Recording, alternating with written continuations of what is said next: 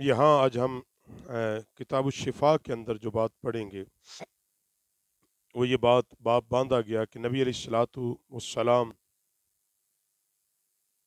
के जो हकूक, उम्मत पर जो हकूक है हुजूर के, उनमें से सबसे पहला हक ये है कि सैयद आलम सल्लल्लाहु अलैहि वसल्लम पर ईमान लाना फ़र्ज़ है। हुजूर को मानने के बगैर दूसरा कोई रास्ता नहीं।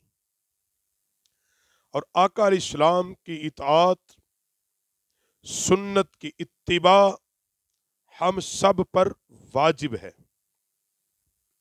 और तीसरा, जिस तरह नबी करीम सल्लल्लाहु अलैहि वसल्लम की हयात ज़ाहरी में आपकी ताज़ीम, तोक़ीर अदब एहतराम उम्मत पर लाजिम था।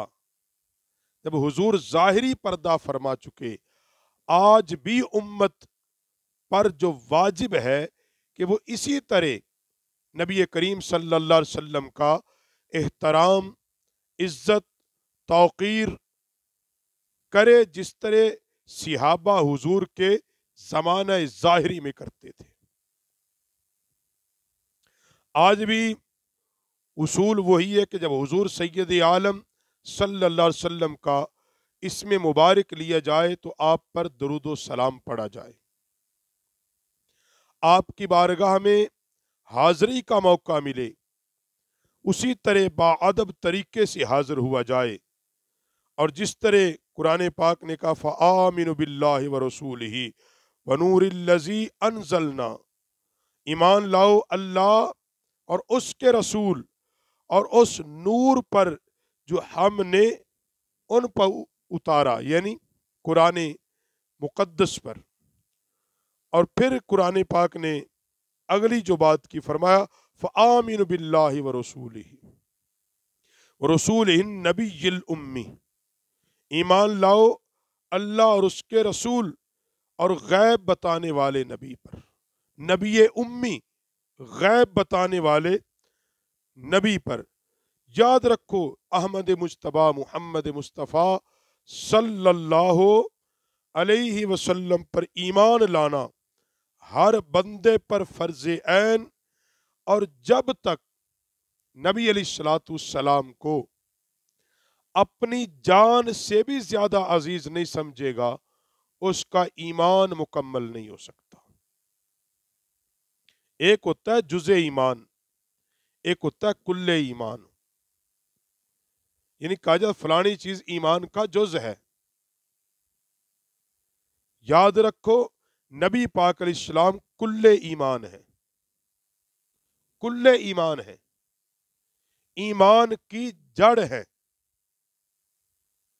अगर नबी करीम सलाम पर ईमान नहीं हुजूर को जब दिल से तस्लीम नहीं किया जाएगा, तस्लीम करने से मुराद, फ़कत खाल खाल कहना मैं नबी को मानता हूँ, तस्लीम करने से मुराद काजी अयाज रहमा बात लिखते हैं कि मुराद ये है कि हर उस चीज़ को तस्लीम किया जाए, जिसको नबी इस्लाम ने मानने का हुक्म इरशाद फरमाया।